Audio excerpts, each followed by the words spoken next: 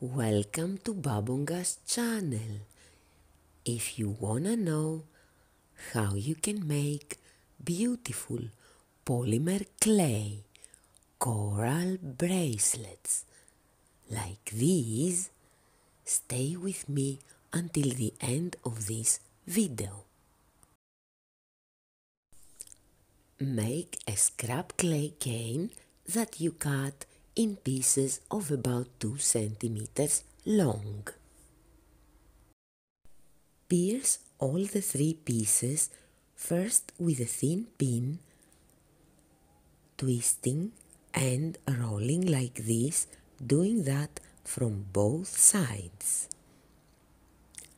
Now take a toothpick and enlarge the hole. These are going to be the base for our cylindrical beads. Bake for 15 minutes. Three types of red polymer clay. Mix them well. I'm using Indian red, translucent red and cherry red. Make a cane out of this and continue mixing by twisting, rolling and marbling like this.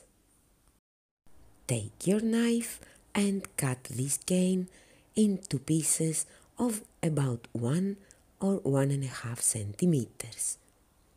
Each piece is a bead. Just roll and you get a nice round bead. Make as many as you like and of course pierce them the same way that you did before. For a bracelet as the one you saw in the start of this video, you're going to need about 11 or 12 round beads. After you finish, put them aside and bring the cylindrical bases that you've baked.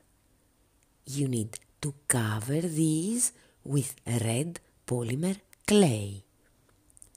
Cover everything. Try not to leave any part of the scrap clay visible. Make it smooth and uncover the hole using a toothpick like this. Do that for all the three pieces. Now you need a texture sheet. Pass a toothpick through the cylindrical bead and then roll and press steadily to get a nice imprint. Repeat the process for the three cylindrical beads. Now bake everything for 30 minutes. After cooling, apply gloss varnish and combine them into beautiful polymer clay coral bracelets.